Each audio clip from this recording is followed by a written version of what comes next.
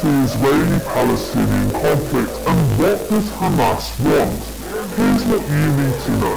For why, we're going to make it simple. Israel was officially established as a country in 1948 to provide a safe haven for Jewish people after six million Jews were murdered by the Nazis in the Holocaust. But while there had long been Jewish people in the area, at the time there was an Arab majority, as well as minorities including Christians, and together these people were called Palestinians, who didn't want to give up their land to establish a Jewish state. Britain, which had ruled the area as part of its empire, proposed creating another country for Palestinians that would exist alongside Israel. This would be called Palestine. But neighbouring Arab countries rejected the plan. They said Palestine should cover the whole area, including Israel, so they went to war. Israel not only won that war, it ended up controlling more land than was originally planned.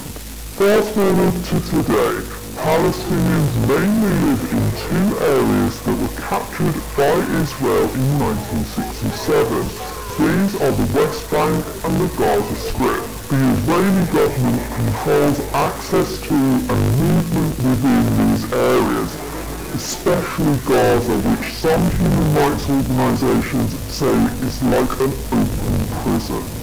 Right now, Gaza and the area around the Strip is the center of the fighting.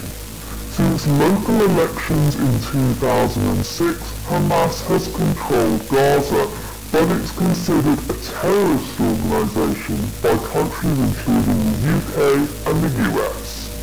Hamas does not recognize Israel's right to exist and believes that Palestine should cover the whole area from the River Jordan to the Mediterranean Sea. Both Hamas and Israel have been accused of war crimes for their attacks on civilians on both sides of the conflict.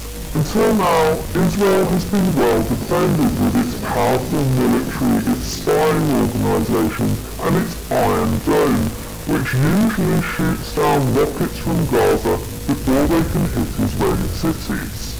And that's partly why this latest attack from Hamas is so shocking. It's bigger than anything that's come before, and it looks like no one on the Israeli side even saw it coming. Hamas has killed hundreds of civilians and soldiers and taken dozens more hostage. Israel has responded by killing hundreds of people in Gaza.